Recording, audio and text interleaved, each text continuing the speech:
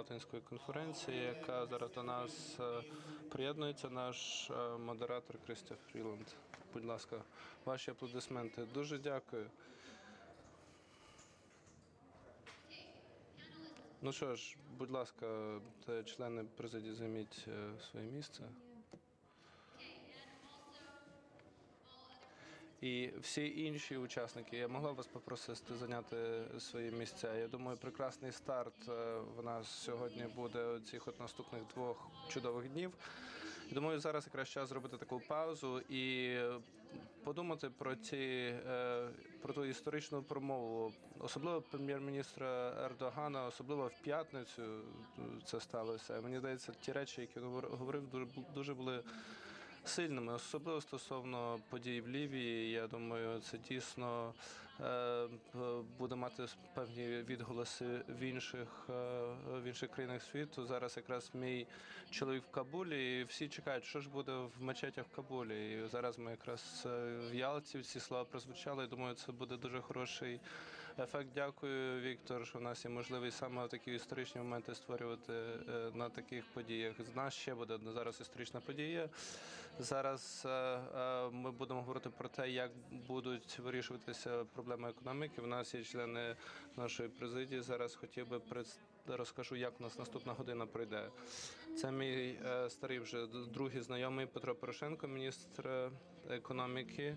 Він є активним політиком, і також кандидат на вибори в, парламент, і також має свій бізнес. Біля нього сидить Олексій Кудрін. Він зараз е, е, займається науковою діяльністю. Зараз у нього дуже важливий е, момент в резюме, що він більше ніж хтось інший е, був міністром фінансів е, пострадянській Росії, і пан е, Порошенко краще розуміє, що займати посади в цих пострадянських режимах не така вже легка справа. І пан Кудрін один з таких яскравих визначених е, економістів у світі. І, звичайно, в нього особливо експертні знання щодо Росії і е, пострадянському е, простору. Домінік Страскан, він його не треба представляти. Він колишній директор розпорядник міжнародного валютного фонду. І останнє, але не менш важливо, те, що він е, мій хороший друг е, Боб Зелік, президент Світового банку, який е, людина, яка могла повернутися в до на урядову посаду, посаду, якщо Ромні стане президентом. Він хороший кандидат на е, казначей, посаду голови казначейства. І я попросила членів президії е, не, не свої виступи для, для вступного слова не робити надто довгим. Потім у нас буде загальна розмова десь 45 хвилин.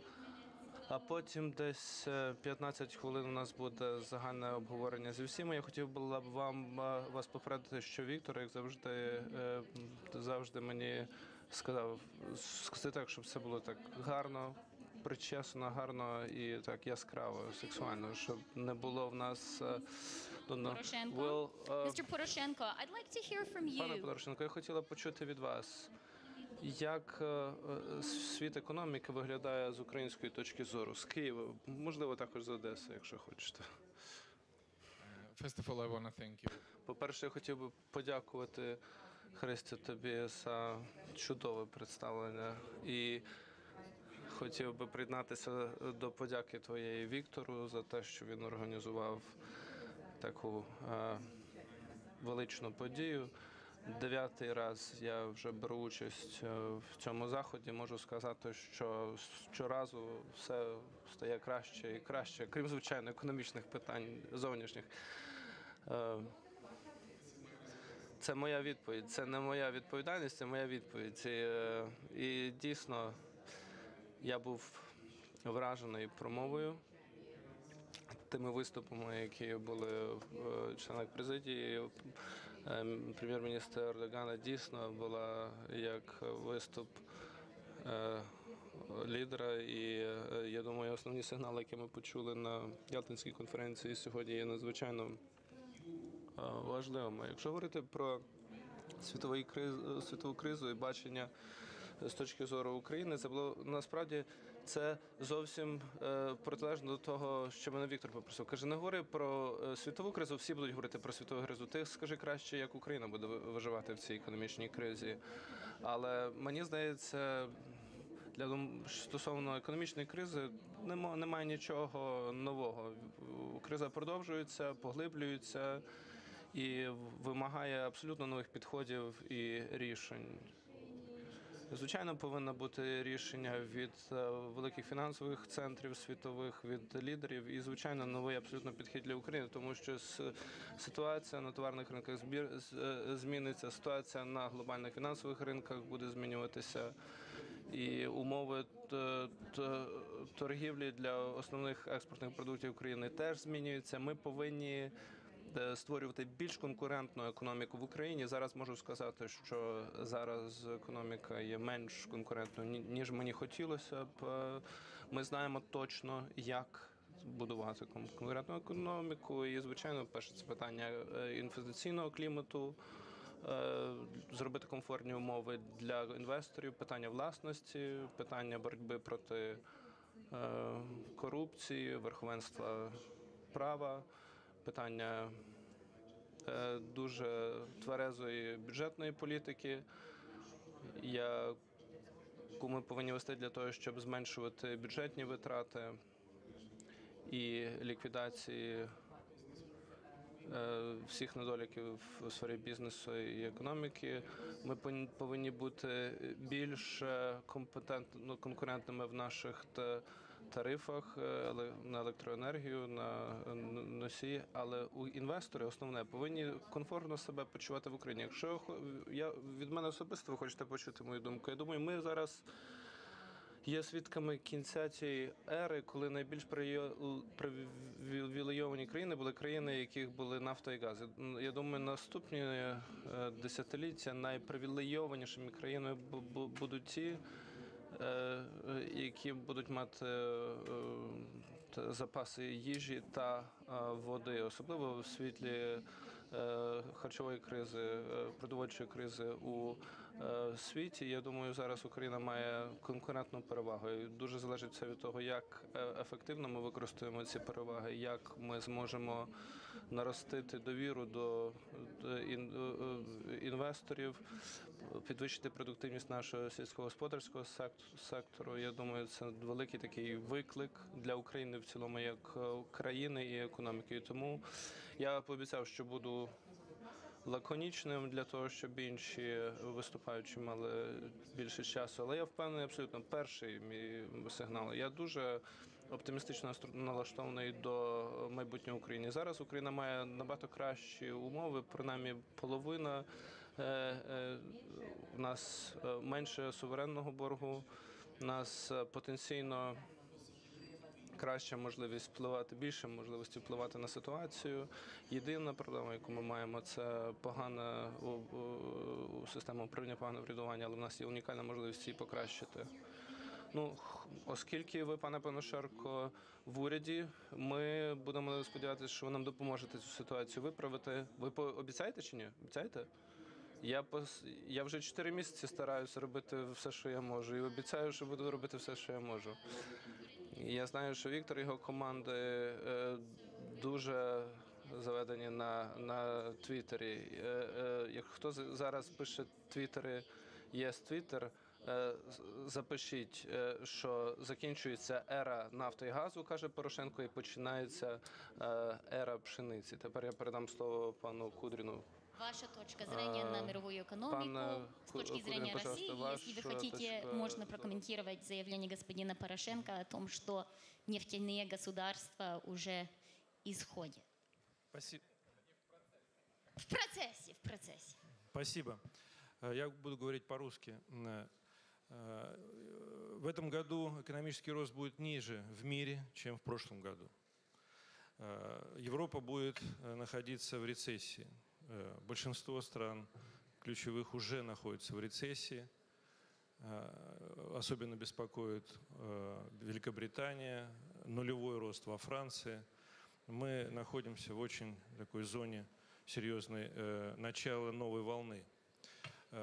Если долговой кризис в Европе будет более острым, то будем иметь в следующем году еще более низкий рост, чем в этом году в мире или э, продолжение рецессии в Европе. В этом случае моя позиция отличается от тех, кто считает, что следующий год будет лучше. Я думаю, что, скорее всего, из-за долгового кризиса он будет хуже. Э, э, Может быть, глядя на показатели этого года, нам кажется, еще мы не находимся в острой фазе. Но последняя неделя показала, что Федеральная резервная система и Европейский центральный банк приступили к экстраординарным мерам поддержки мировой экономики. То есть к таким мерам, которые не применяются в обычной ситуации, которые не применяются, когда мы ожидаем или говорим о благоприятной ситуации. Это говорит, что э, специалисты этих институтов оценивают ситуацию как в самые сложные моменты прошедшего э, кризиса. Причем, э, если Федеральная резервная система начинает э, количественное смещение, смягчение 3, и это поддержка спроса, это попытка снизить э, э, безработицу, то Европейский Центробанк, ну, я бы сказал, и в теории, и в практике э, сказал новое слово, э, э, я имею в виду в теории, и в практике экономики. Это таргетирование доходности облигаций ведущих европейских стран. Это означает, эмиссия будет столько, сколько нужно, чтобы спасти эти э, страны, которые сегодня не способны обслуживать свой долг. И мы не знаем, какого масштаба должна быть такая эмиссия. Э, Я, к сожалению, пессимист. Я думаю, что э, э, пока а, мера Европейского Центрального Банка не решит проблему. Она ее отложит, перенесет на будущее. Может, это даст время принять другие меры, но эта мера не лечит, она поддерживает ситуацию на каком-то э, уровне э, э, попытки обслуживания долга этих стран. Почему я думаю, что это э, не решает? Чтобы проблема долговая ведущих стран, имеется в виду Испании, Португалии, Италии э, в первую очередь, была решена, экономический рост в этих странах должен быть выше, чем прирост долга ежегодно. Но этого не ожидается в ближайшие 3-4 года. Значит, эта проблема будет нарастать. И если сейчас она уже пришла к предельной черте, э, и уже не способны эти страны самостоятельно на рыночной основе обслуживать свои долги, то поддержка Европейским центральным банком этих стран ну, э, просто может отложить, но не решить эту проблему. Соответственно, нам нужно искать другой, более, э, может быть, э, жесткое или сильное лекарство, которое э, позволит этим странам перейти к какой-то другой э, э, стратегии. Я не исключаю, что это была бы реструктуризация долгов этих стран. Нужно отойти от, от пропасти. Нужно дать им выйти в рыночную э, зону обслуживания своего долга. Если этого не произойдет, то, может быть, через год, может, чуть позже, мы вернемся к еще более острой ситуации. И последний э, тезис. Вот эта поддержка, будь то Федеральной резервной системы или э, Европейским центральным банком экономики, попытка поддержать спрос, ликвидность, она меняет цены на основные активы. Она делает их искусственными, она э, не позволяет работать рыночным сигналом. Поэтому в конечном счете, э, в крайнем случае, в лучшем случае мы получим стагнацию в этих странах на много лет вперед, может быть, на 5, на 7. Таким образом, мы находимся в очень неприятной зоне, и пока решение этих проблем не найдено. Спасибо. Спасибо вам. Uh, I think it might be worth stepping back just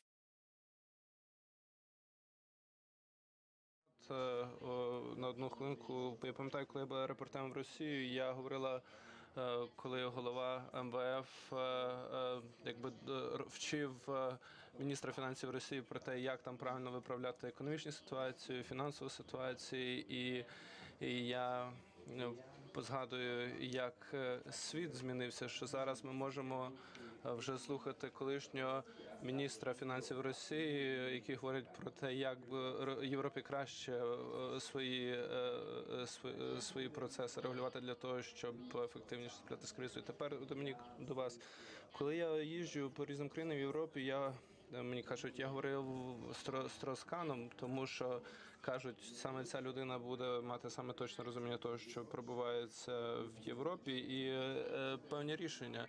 Пан Кудрін сказав, що насправді це велика проблема. Ваша оцінка, наскільки вона велика, як, як які мають бути рішення? Дякую дуже, Христя, за ці чудові слова. Я хотів би сказати в продовження того, що було сказано, що я погоджуюсь майже з, з усім, що сказав Олексій.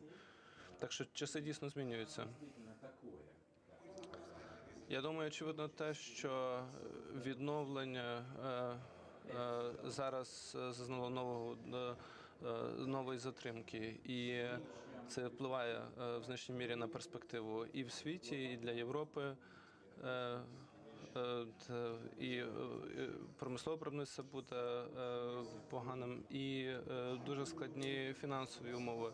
Мені здається, тому що в основному політика, не яка ведеться, не повертає довіри до ринку. Я на глобальному рівні перше це пов'язано з, американською економікою. Я не буду про це довго не буду говорити.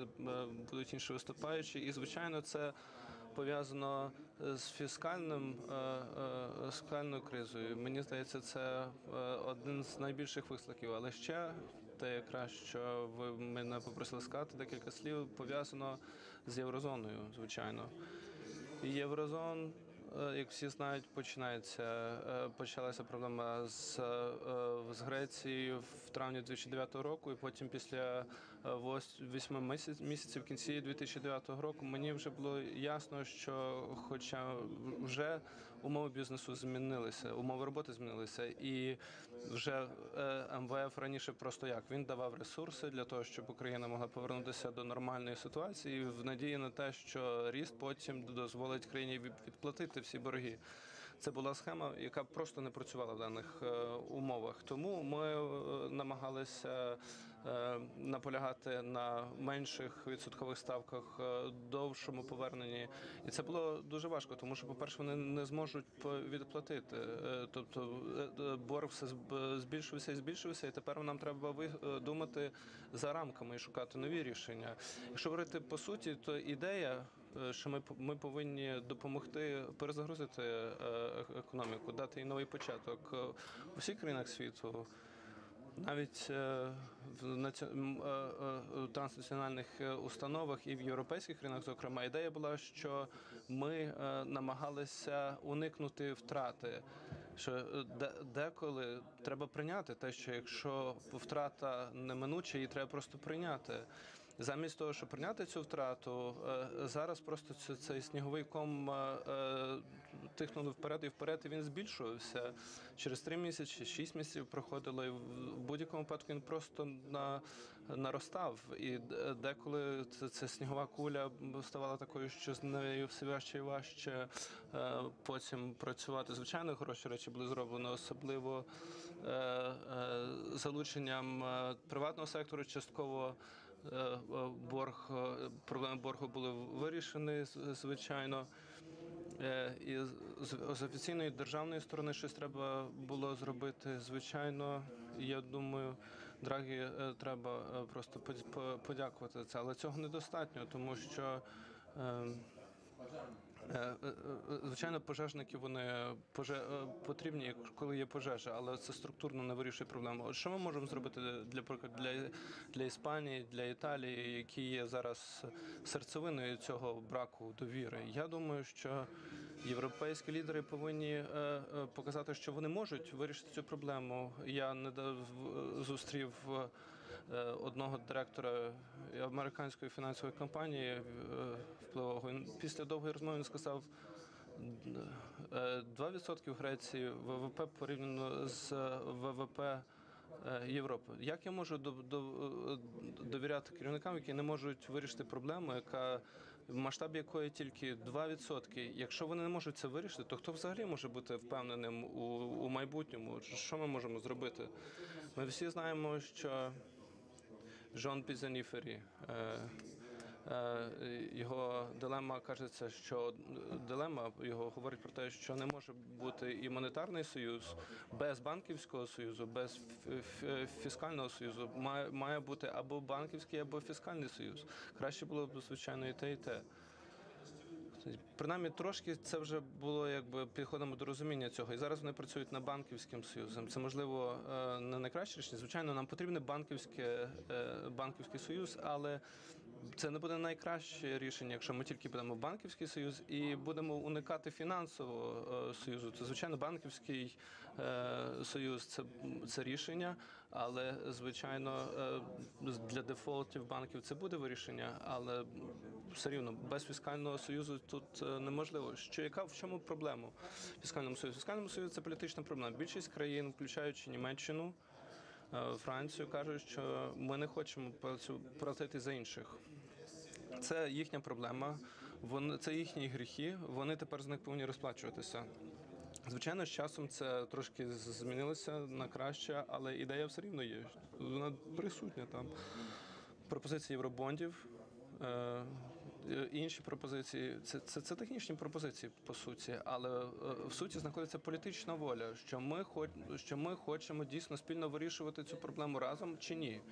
Чи, е, чи ми розуміємо, що монетарний союз потрібен потрібна йому солідарність від інших членів чи ні? Я абсолютно переконаний, що немає. Щоб монетарний союз вижив, він не може вижити без такої солідарності. І звичайно, це повинен бути і банківський союз, і фіскальний союз одночасно. Але євробонди е, як е, інструмент е, лякають німців, тому що каже, ми не хочемо відкривати наш, наші баланси і, і просто брати на себе відповідальність за ці борги, які були накоп- накопичені італійцями і, іспанцями. Всі це розуміють, якби. Отже, яке має бути це рішення? Я хотів би запропонувати сьогодні президент Вишневський і, і, е, і з Віктора Пінчука з його, е, Пінчука з його рішення е, дозволу. Це е, ми поговоримо про запаси пізніше. Давайте поговоримо про потоки. Як, наприклад, е, Франція і, і Німеччина беру- беруть, е, е, е, е, беруть позики набагато менші е, е, за меншу ставку. Отже, тут якби така такі плюси для тих країн, які в кращій ситуації. Е, В монетарному союзі якби немає смислу е, е, створювати таку ситуацію. І ми попробуємо вирішити, які має бути норм, нормальна ставка запозичення. І ми бачимо, що в Німеччині і Франції вони просто беруть позики за меншу ставку. Вони могли б різницю просто пропонувати іншим тим країнам, які беруть позики за набагато наба- по набагато вищій е, е, ставці. Я думаю, е, Франція, Іспанія за 4% могли брати позики. І тоді це вже буде абсолютно сталим. І, і тоді проблема може вирішити. Це, технічне рішення, яке просто буде е, чесним. Поділитися процентними ставками. Ф- Франція, Німеччина беруть за позики за нижчою ставкою просто через те, що інші платять вищу процентну ставку, більше процентів платять. Не давайте не говоримо про, про фінансові запаси. Е, по- е, Португальці, всі інші іспанці будуть відповідати за свої борги. Але рі- рік за роком, звичайно, саме по собі воно не зміниться. Це, це, це, е, е, це тимчасовий процес. І, і колись звичайні правила повернуться. Але рік за роком е, е, е, з багаті країни або ті, які беруть позики за меншу процентну ставку, просто будуть ділитися різницею процентної ставки з тими, які позичають за вищі проценти. Я запевнюю вас. Що це відновить ту впевненість, яка нам потрібна. Я про якщо хтось мені хоче допомогти цю ідею про пропагувати, і, е, і, і, будь ласка, чому я переконаний, що ми можемо, щоб французи і, і німці е, на це можуть піти, тому що аналіз показує, що, що з, е, часом е, е, е, ці процеси просто е, е, стають конвергентними. Я пам'ятаю, я був е, е, міністром фінансів нашої країни, коли ми запускали євро. І тоді ми зробили помилку. І, звичайно, це е, я част- частково можу сказати, що відповідаю за, за те, що тоді відбувалося, тому що е, німці е, наполягали на пакті стабільності. Ми хочемо, щоб були дуже сильні, жорсткі правила стабільності. Без пакту стабільності ми не входимо в монетарний союз. І ми, французи, теж говорили, ні, ні, ні. Ми хочемо е, економічний уряд, який повинен е, просто вирішувати більше ніж просто фіскальні справи. Тобто, ми боролися, нічого не було. Ми ми проблема була в тому, що ми не розуміємо. Я не розумів, що ми говоримо про одне і те ж. Просто-напросто. Німці, не німці не були е, е, божевільними, ні ми. Ми. Просто не розуміли, що, що не може бути е, монетарного союзу без правил. Просто вони по-німе- по-німецьки це все називали там норми, там все. Ми це називали там е, врядуванням, політикою. Ми це було одне і те саме. Просто ми цього не розуміли, що ми говоримо про ті самі речі. Зараз німці пішли далі. Вони розуміють, що фіскальні. Це не фіскальні, це не єдине, на що треба звертати увагу. Е, Французи починають про тому, що да, дійсно фіскальні питання теж е, важливі. Отже, тепер ми можемо зробити те, що ми робили е, тоді, те, що ми можемо, можемо зробити зараз.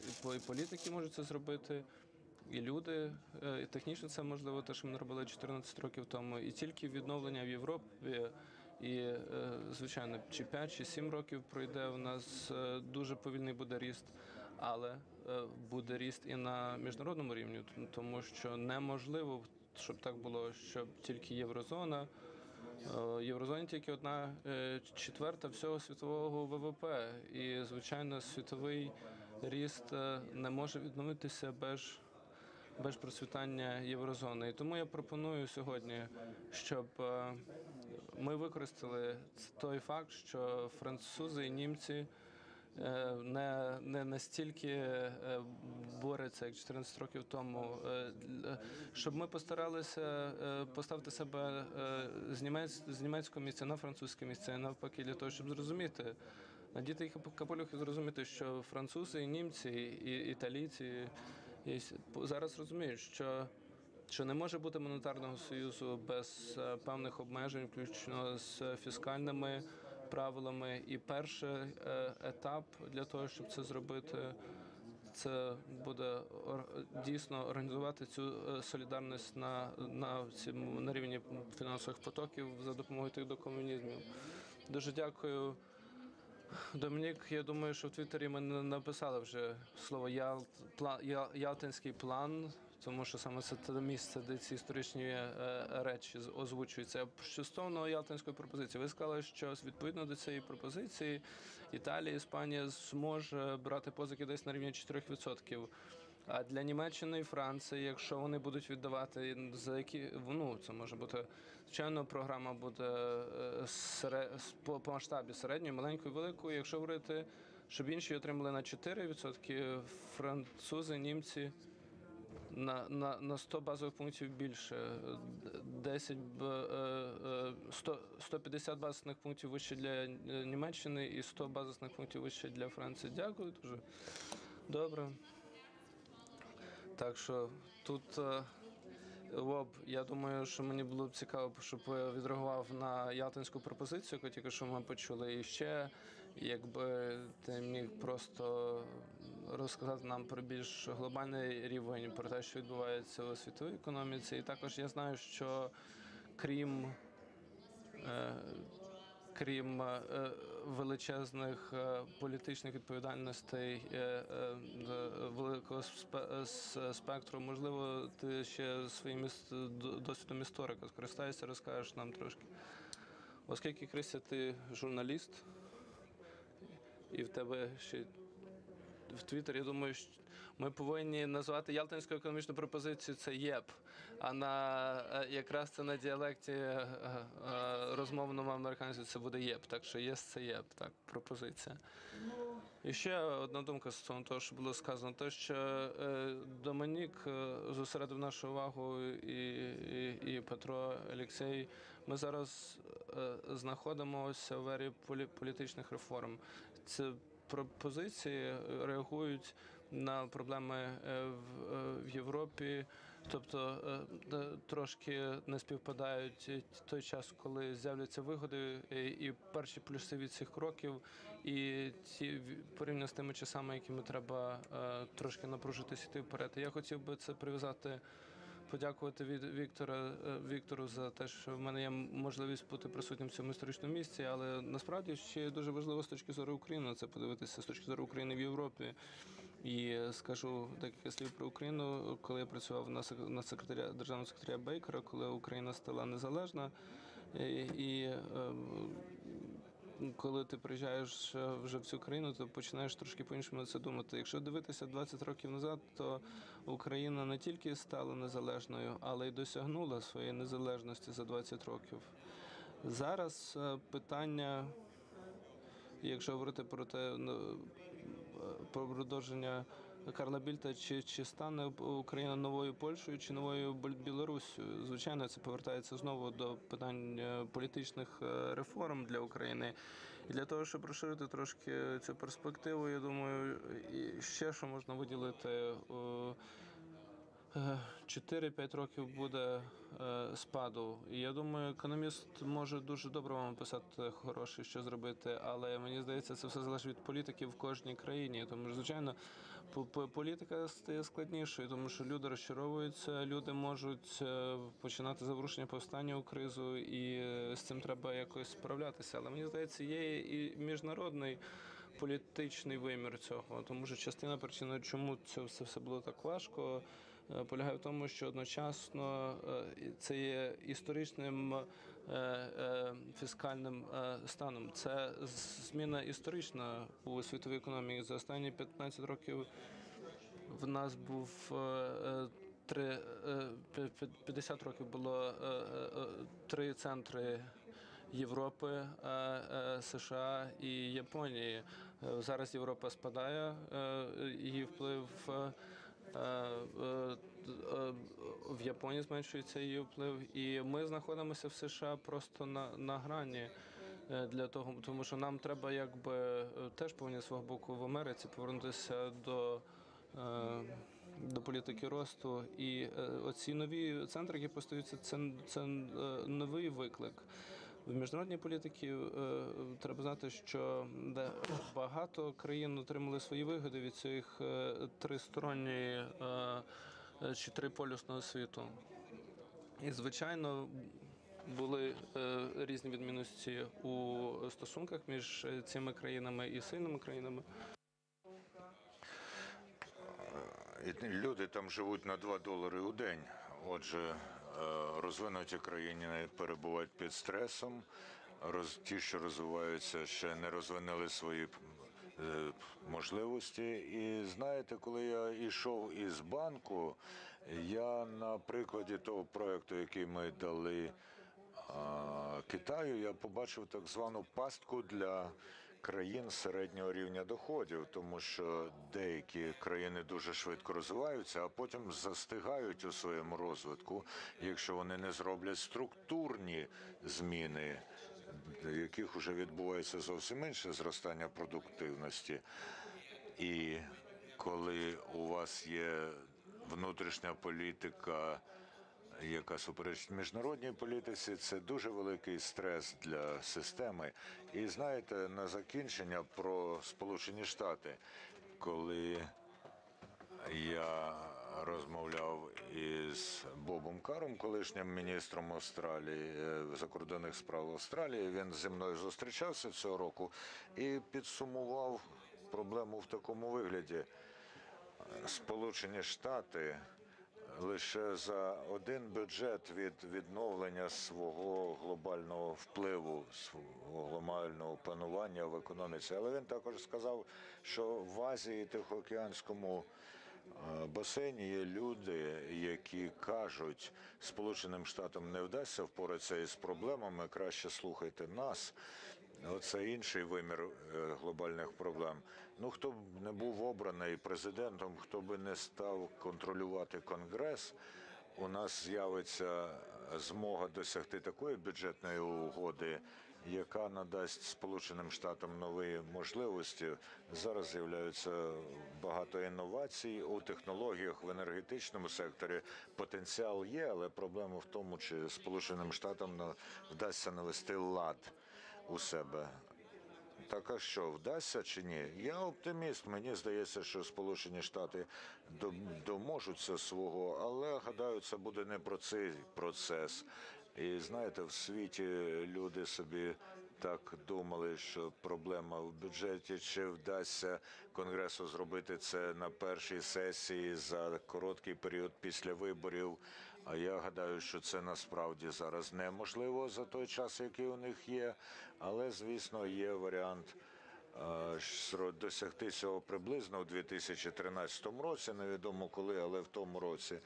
Ну, От і гадаю, що йдеться про зміну структури видатків. От про це доведеться домовлятися. Все, звісно, залежить і від результатів наступних виборів. Але я відчуваю, що є дедалі більше бажання, принаймні серед конгресменів, з якими я розмовляв, а також у діловому товаристві.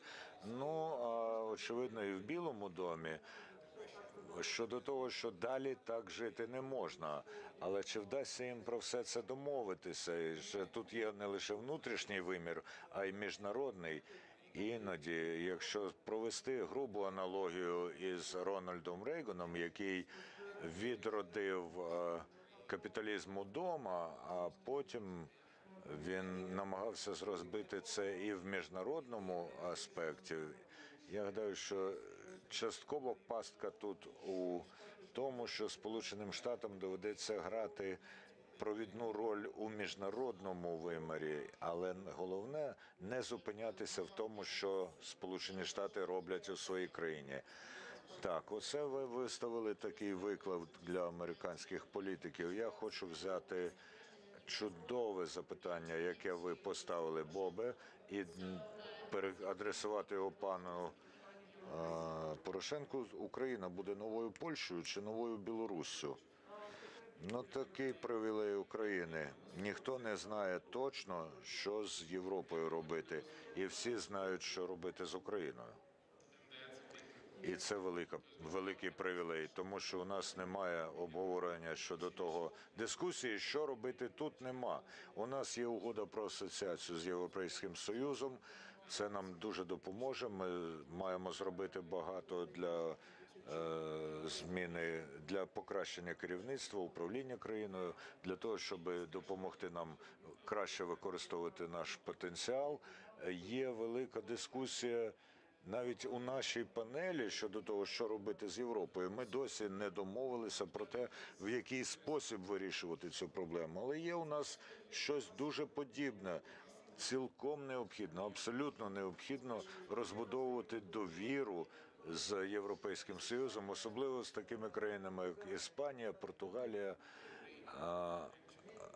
але і з іншими країнами для України таке таке саме завдання.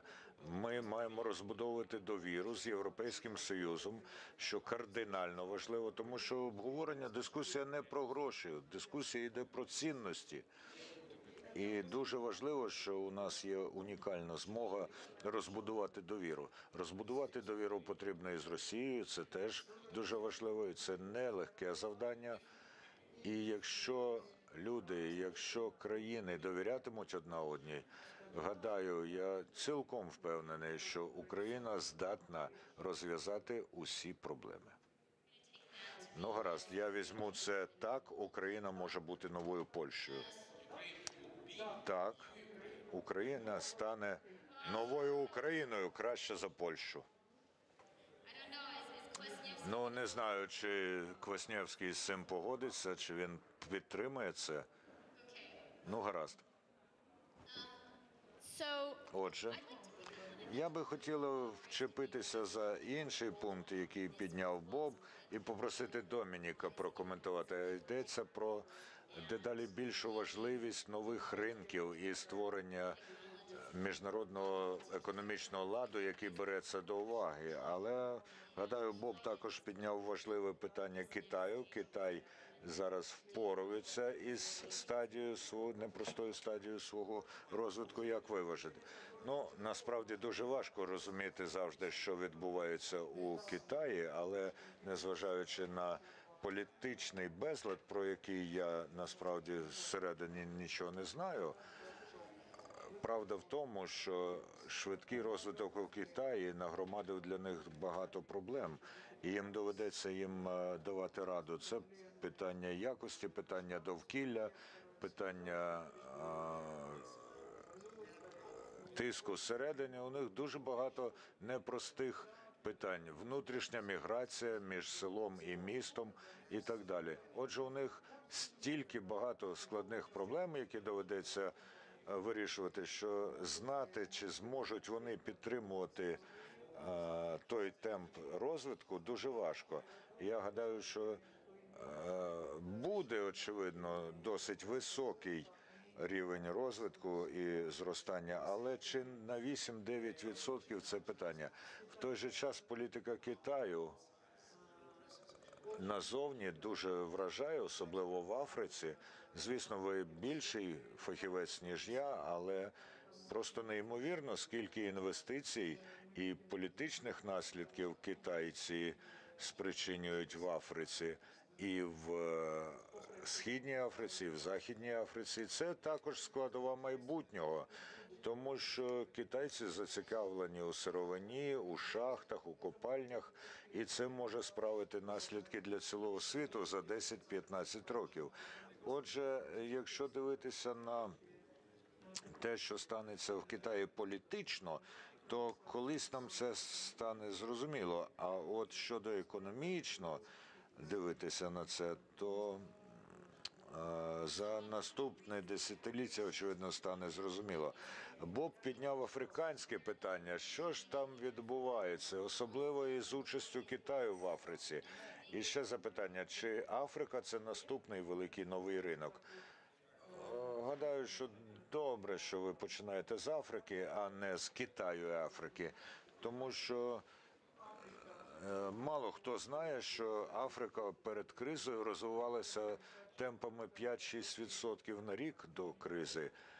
І, звісно, будь-яка е, будь-який регіон е, у субсахарній Африці, звичайно, це дуже різноманітні країни і регіони. Там є деякі невдалі країни, але є великі запаси покладів. Коли я працював у Святому банку, і ми створювали додаткові фонди і виявляли дедалі більший інтерес до цього ринку. Я маю сказати, що за приблизно 5 років розвиткові країни представлятимуть до двох-трьох до двох третин цілого світового зростання. І це, до речі, має відношення до України. Україна може стати частиною цього зростання, але може і відстати. Ми також бачимо ці зміни в міжнародній економіці. І це не лише політика змін, а структурні зміни, зміни у структурі торгівлі, інвестицій, розвиткових фондів. Дедалі більше е, напрямки будуть південь-південь, будуть змінені ланцюги постачання, ланцюги споживання. І е, потенціал відносин між розвитковими країнами більше, ніж між розвитковими і розвиненими країнами. Отже, все це ширше, ніж просто питання Китаю і Африки. Іноді люди у США і Європі бачать це. Ну, мені здається, вони ставляться до цього негативно, кажучи, що все погане походить з Китаю чи Африки. Я гадаю, що це насправді помилка. Гадаю, що нам потрібно казати і бідним американцям, і європейцям, і африканцям, що з цим робити.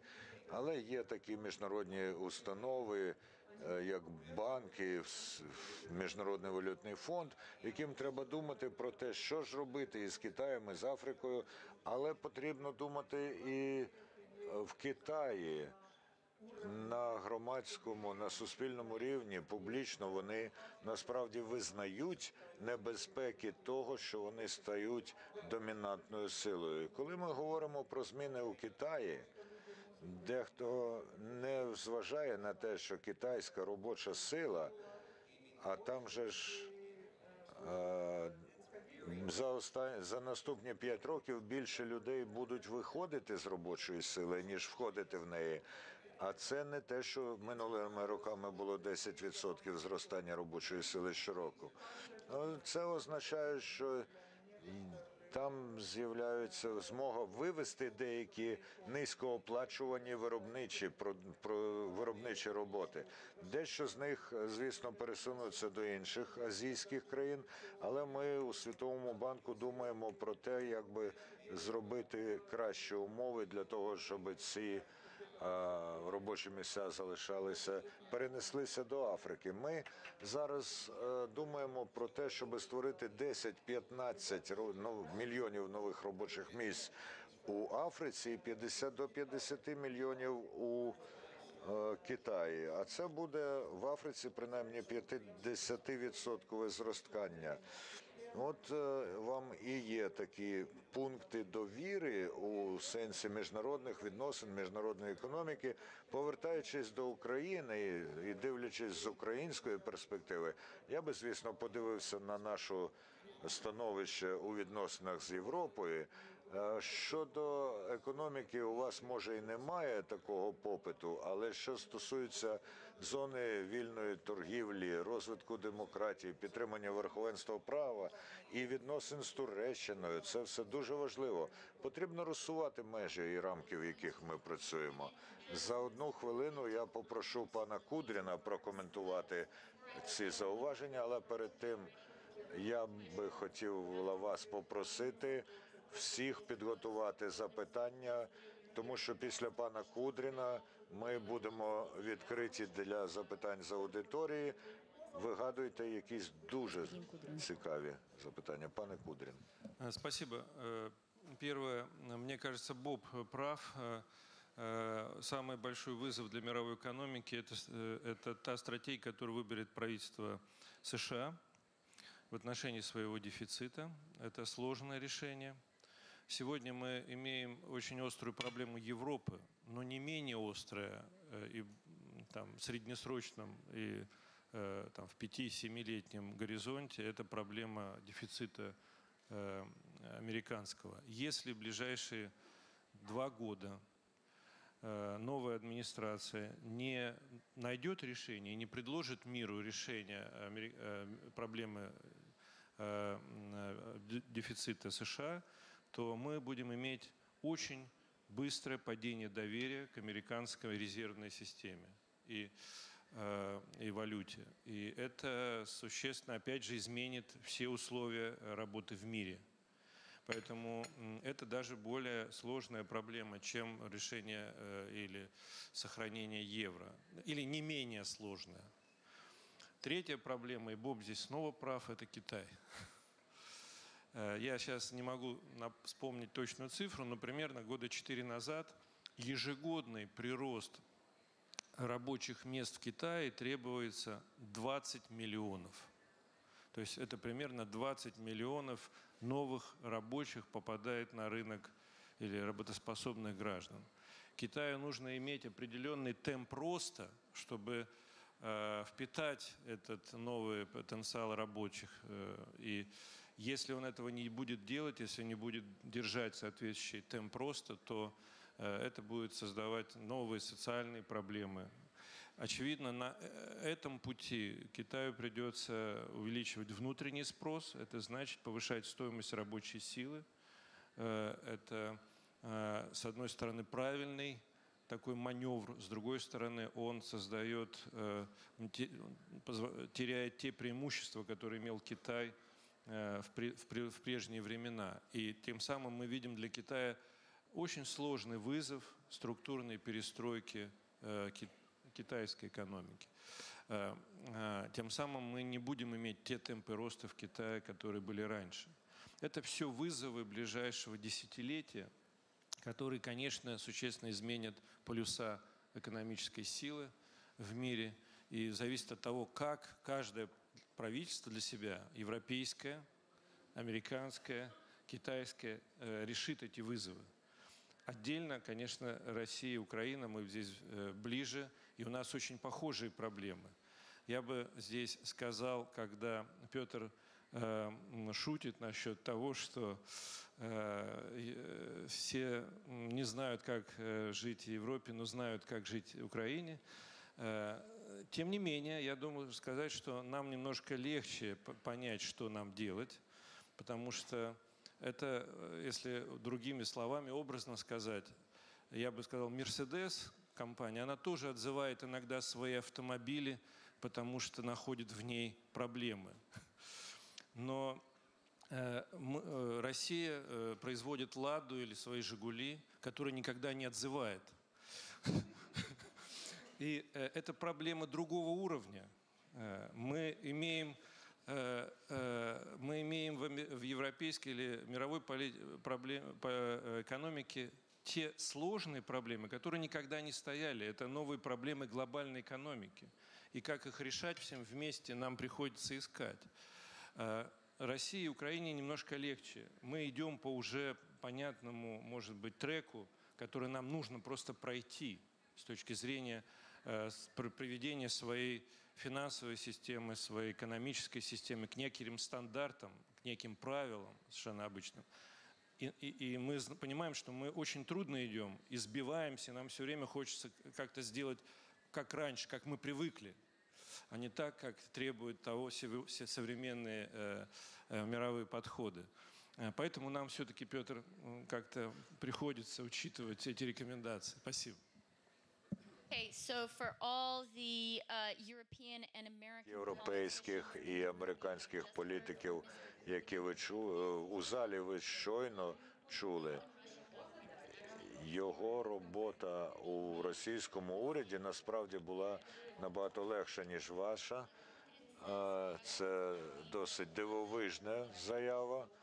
І для Твіттера е, пан Кудрін каже, що російська економіка це лада, німецька це Мерседес. Тобто для Твіттера це. Ну що ж, ви готові ставити запитання? Якщо у вас нема, то у мене їх чимало. Будь ласка. Uh, Мене звати Сальтє, я член наглядової ради Ялтиської економічної стратегії. У мене запитання до пана Кудріна А Ви відреагували на те, що сказав пан Порошенко щодо привілеїв.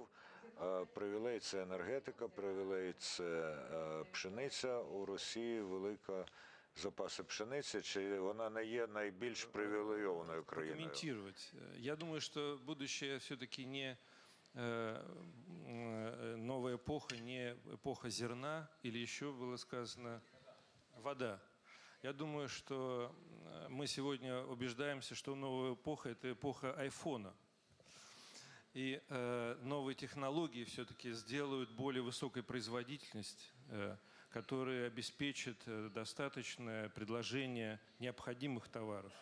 В том числе, э, я думаю, мы будем иметь и развитие продовольственной системы. И я не думаю, что мы будем стоять перед кризисом продовольственной системы. Да, эта проблема острая, она требует решения, она, треб- она будет решаться, но мы не стоим перед тем, что это станет э, таким, как цена там, нефти или энерги- энергии. Я думаю, новые техно- за новыми технологиями будущее. И те, кто будет э, в новых технологиях э, конкурентоспособным, за теми будущее. Э, Тем не менее, Россия и Украина имеют благоприятные возможности для производства этого продовольствия. Оно будет иметь спрос, даже будет на него спрос расти, и Россия тем самым имеет хорошие также перспективы в э, обеспечении, в, расширении э, своего производства. Чем выше цена, тем больше площадей будут рентабельных для производства в России. Э, Даже менее э, рентабельные сегодня площади, они станут рентабельными при более высокой цене. И это создает хорошие перспективы. Э, Мы это чувствуем. Большой интерес международных компаний к нашим сельхозплощадям. Интерес сохраняется. Я думаю, что это хорошая зона бизнеса для России, где мы можем показать себя. Okay, thank you very much. So we have a, an additional line now. It's not the age of oil or of wheat. Це не доба е, нафти або зерна, це доба айфонів. А батько мій насправді фермер, і коли сонце стане сьогодні, то він буде на своєму комбайні, на своїй фермі. І в цьому сенсі вищі товари, е, ціни на продовольство більше дадуть йому змоги. А зараз у Віктора є запитання. Дамо йому таку змогу. Домінік, Потім I буде like- Хав'єр. Домінік, мені дуже сподобалась ваша ідея, і якщо ми це назвемо ЄП, я буду дуже е, радий, але у мене є стурбованість в тому, що Німеччина вже вдруге матиме підстави ненавидіти Ялту. І цим я цим стурбований. Поясни мені, будь ласка, як їх переконати сприйняти цю ідею більш-менш у розумний спосіб? Чудове запитання. Я не коментуватиму першу частину. Я думаю, що Німеччина, особливо пані Меркель, але також Штайнма- Штайнмаєр і соціал-демократична партія розуміють, що не можна бути в монетарному союзі і мати його переваги ні за що. Вони це добре розуміють краще ніж раніше, що перспектива Німеччини великою мірою залежить від процвітання сусідів. І ця ідея того, що торгівельний е, дефіцит це погано, а профіцит це добре, вона довго не проживе. Німці не можуть сподіватися так довго мати оте зростання і життєвий рівень, який у них є, е, щоб він відповідав їхньому торгівельному профіциту, а в той час же е, робити неможливим для європейських сусідів купівлю товарів. 75 відсотків цього торгівельного профіциту йде від європейських сусідів Німеччини. Я гадаю, що німці більше ніж раніше розуміють, що ми всі в одному човні. Це не означає, що нам не потрібно робити зусиль, щоб розуміти, що хочуть інші, маючи власну культуру, власну історію, власні інтереси. Але рішення нам треба шукати разом особливо якщо сусіди цього хочуть. І коли ви розмовляєте з німецькими керівниками, вони кажуть, добре, як же нам вилізти з цього безладу? Е, Візьмемо до уваги те, що людина на вулицях Дортмунда або Франкфурта реагує не так, як людина у Швеції або в Греції. А я таку пропозицію роблю, що це насправді перевага в тому, що ніщо не є створеним назавжди. І не йдеться про те, що ми, німці або французи, не хочемо бути відповідальними за зроблені раніше помилки і розплачуватися за борги, зроблені раніше.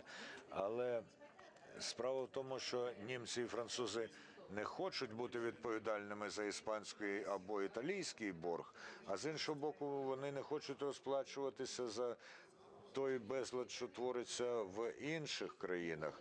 І все це, звичайно, проблема взаємної гри.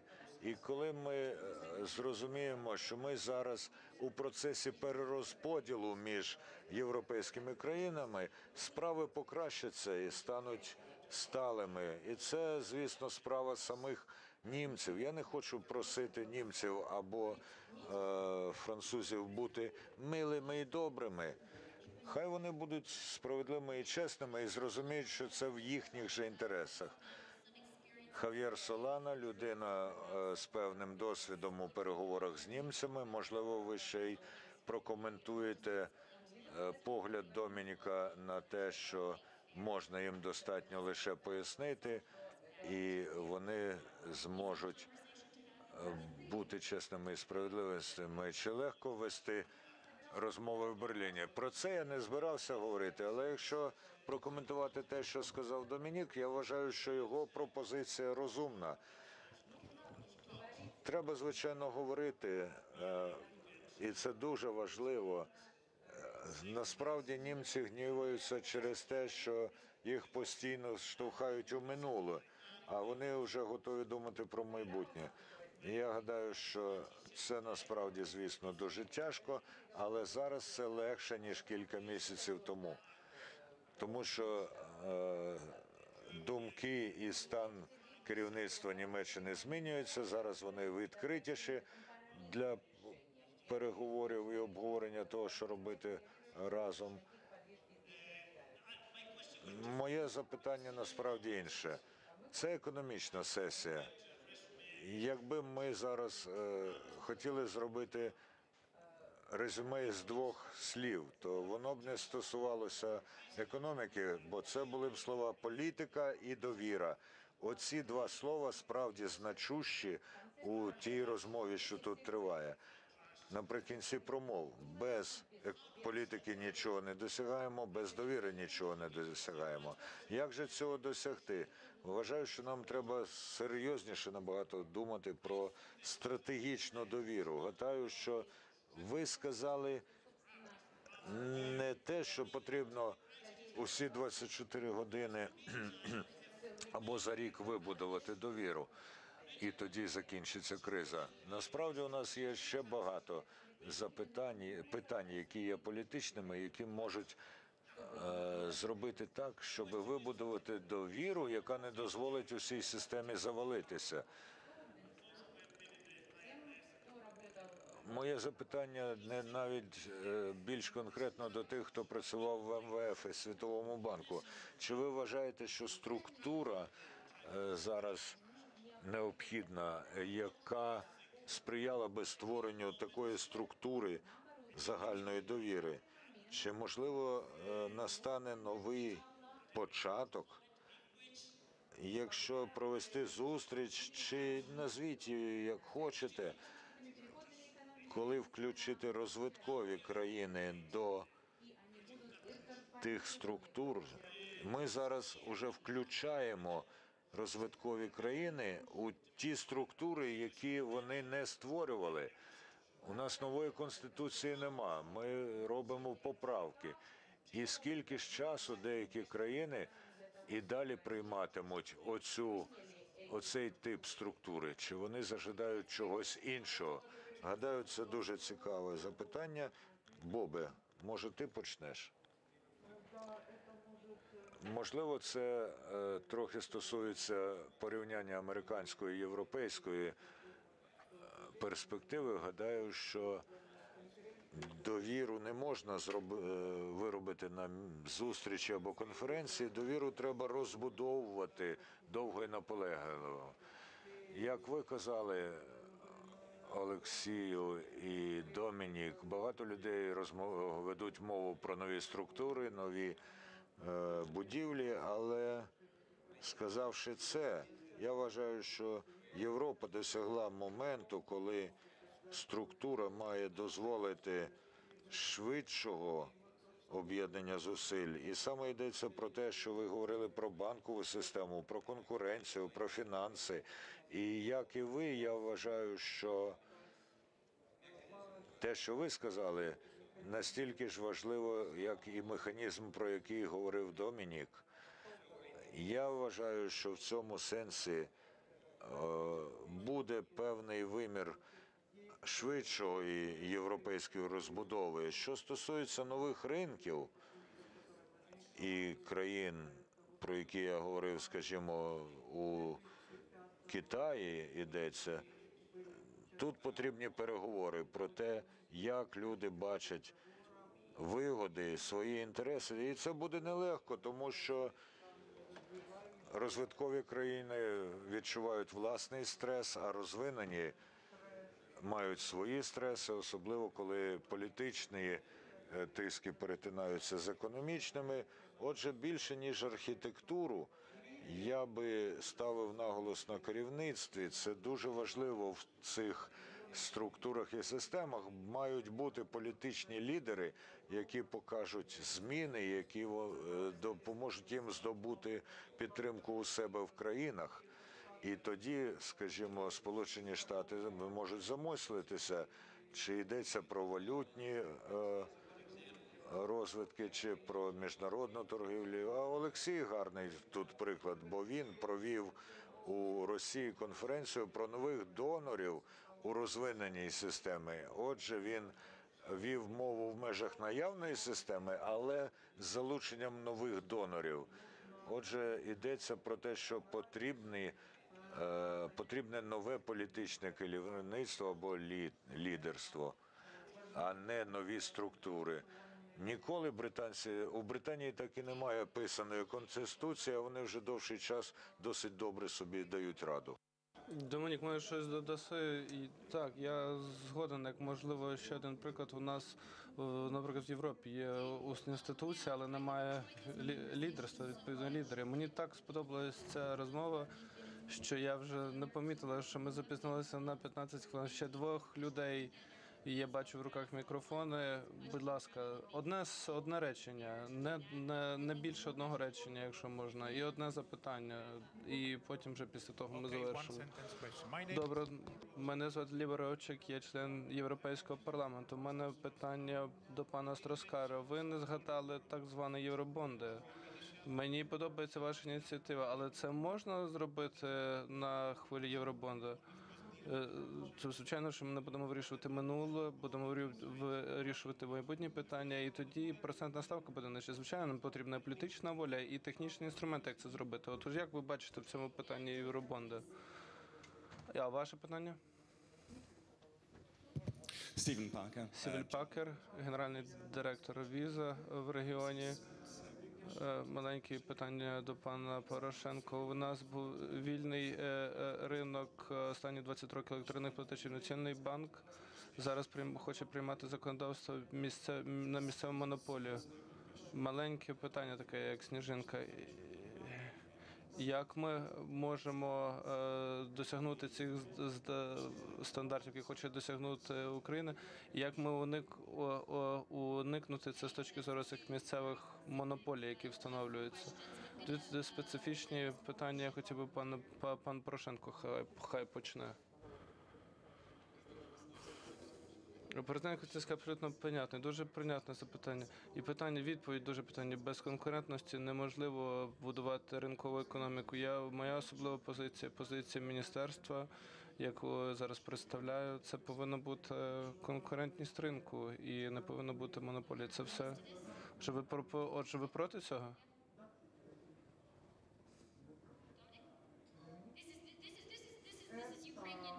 Це українські новини для тих, хто за Твіттер е, е, Твіттером займається. Домінік, є б це перший крок до євробондів. Звичайно, це перший крок для вирішення е, проблеми. Євробонди це можлива технологія. Я нічого проти не маю. Це на майбутнє це хороший інструмент. Можуть бути інші інструменти. Технічні проблеми не технічна проблема не важка. Е, Проблема в політичній волі, е, яка тут потрібна. Поки що політична воля достатня для того, щоб спільно вирішити проблему боргу. І тоді пови- повинен бути перший крок, який якби цей е, цю цей розгардіяж якось вирішить. Отже, якраз ми говорили, е, ми можемо вчитися і, і, і на шляху, але чому б це не бути не, не були б євробонди? Це можуть бути євробонди.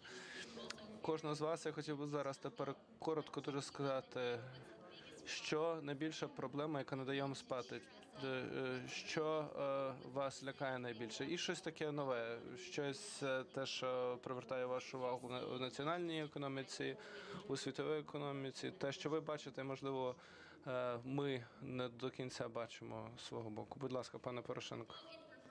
Давайте в зворотному випадку. Давайте тоді з Боба почнемо. Ну, що, чого, що не дає мені спати?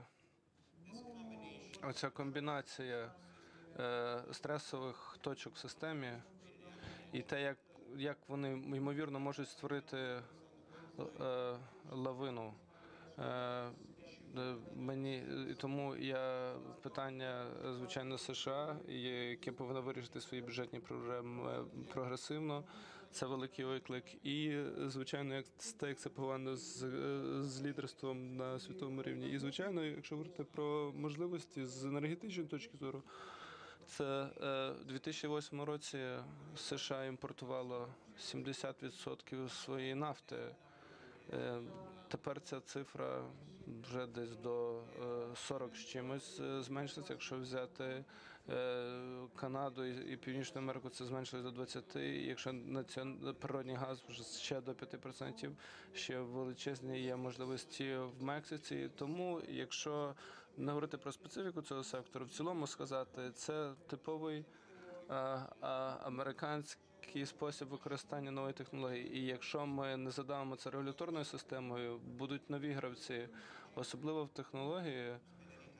Е, в Силіконовій долині, якщо ви побуваєте величезні можливості, те, що в Амазон зробив е, і в роздрібній торгівлі, навіть у е, виробничих секторах. І е, звичайно, це буде продовжуватися. Це буде і це буде і політичним стресовою точкою, але це дасть можливість споживачам і виробникам більше рухатися вперед, створити кращі стандарти і свободи. Будь ласка, Доминік, що не дає тобі спати?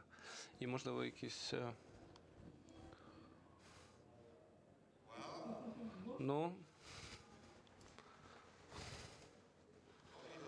Єдина надія, е, що в мене є, що е, е, все не погіршиться. Я сподіваюся, що в- нас ще буде 5-6 е, років повільного росту, і це величезна проблема для просунутих економік, такі як моя країна, тому що пен- пенсійна система, соціальна система соціального заходу і медична система вся прив'язана до росту в 2-3%. Це означає, без цього росту через рік просто буде неможливо. Або це буде банкротство, що не можна собі уявити, або зменшиться виплати або соціальні виплати, і тоді люди вийдуть на вулиці. І тому е, моя прогноз, що якщо не буде швидких рішень, е, рішень, е, які прийдуть до росту, тоді люди будуть на вулицях. Коли я був молодий, я був ж такий революціонер, і я, мені подобалася ідея людей на вулиці. Зараз я вже так не думаю. А тепер о, надії. Якісь ні, ні, чи це пропустиш? Пропущу. Тобто тоді пан Россия Козирів. находится э, в таком с- положении, когда мы не можем внести решающий вклад в решение проблем Европы или Америки. Да, мы участвуем в международной э, системе, но мы не можем сейчас сделать решающие шаги, чтобы помочь. Э, Мы можем только присоединиться к помощи других. С другой стороны, Россия, э, России нужно больше собственной устойчивости к внешним шокам. Мы очень неустойчивы и очень зависимы, в том числе от нефти и газа. Поэтому э, создание предсказуемой, устойчивой, современной экономики в России, основанной на серьезной э, и предсказуемой политической системе, это э, главная проблема России. Спасибо. І пан Порошенко абсолютно правильно сказав, що наш український міністр повинен мати останнє слово. Прошу.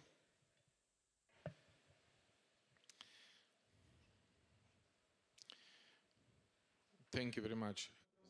Дуже дякую, Христя. Дуже дякую е, всім учасникам президії і вельми шановним гостям. Мені здається, президія в нас була дуже цікава. І якщо відповідати на це запитання, скажу, якщо зараз запитати людей тут чи на вулиці, який буде відсоток е, оптимістів і песимістів, мені здається, що песимістично настроєних буде більшість. І це найбіль... це найбільша проблема, тому що якби е, більшість, е, якщо більшість при, при, приймають і вірять у погані речі, то ці погані речі рано чи пізно відбуваються. Хав'єр абсолютно правий. Це не економічне питання, це економічна політика і довіра. І в, е, даному випадку мені здається, що ми маємо е, унікальне погане поєднання серйозних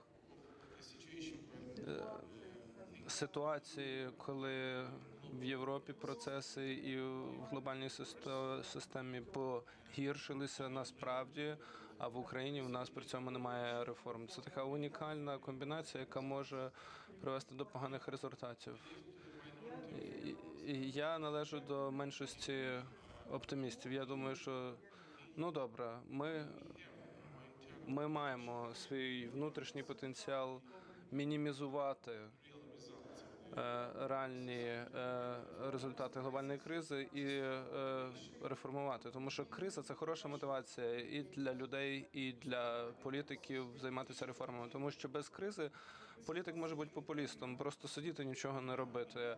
А зараз у нас є той час, коли просто неможливо просто сидіти е, сидіти і чекати, тому що позитивних результатів тоді не буде. І з такої точки зору, та ситуація, яку ми зараз маємо, це час великого потенціалу. Я думаю, цей час е, за 21 рік нашої незалежності, принаймні, в нас є можливість побудувати е, абсолютно сучасну систему реформ, е, медичну реформу, реформу соціального забезпечення, систему безпеки і економічну реформу. І якщо в нас буде достатньо довіри, достатній рівень довіри, достатнє розуміння уряду і парламенту щодо цінностей, якщо це уряд і парламент буде достатньо мати підтримки від людей. Я думаю, це унікальна можливість, коли ми можемо цю реформу е, втілити. І я думаю, парламентські вибори е, дадуть шанс дійсно створити таку атмосферу. Принаймні, я в це вірю. Е, І пан Порошенко вже трошки плавно перевів нас до е, тої е, е, тем- тематики, яка в нас буде щодо українських виборів. І я думаю, для візи були хороші були новини від Порошенка. І Домінік прекрасну нову ідею висловив ЄП і. і Роб, дуже дякую. Дякую всім вам за прекрасну прекрасне обговорення.